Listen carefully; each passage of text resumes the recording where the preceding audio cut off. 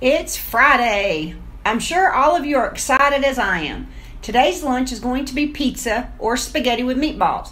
Also, our tree has fully grown, and look, it has lovely lights. It's attracting some beautiful birds also. I really love sharing my garden with you.